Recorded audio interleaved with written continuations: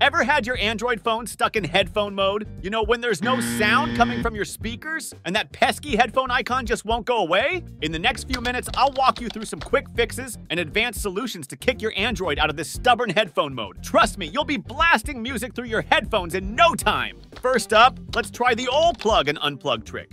Grab your headphones and plug them in. Now give the plug a gentle twist and pull it out. Sounds too simple, right? But sometimes that's all it takes to snap your phone out of its confusion. If that didn't work, let's investigate your headphone jack.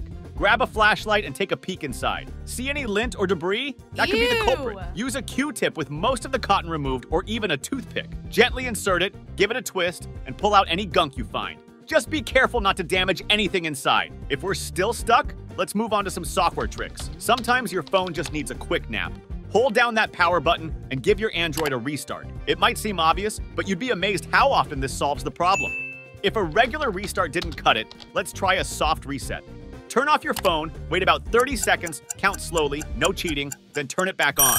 This gives your phone a chance to clear its head and hopefully forget about those phantom headphones. Alright, if those quick fixes didn't cut it, it's time to bring out the big guns. There are apps out there designed to override your phone's audio settings. One popular option is Disable Headphone Enable Speaker. This lets you manually switch between headphones and speakers, even when your phone is being stubborn. The link to download the app will be in the description below. Now, if all else fails, we've got the nuclear option, the hard reset. But fair warning, this is the delete everything and start fresh.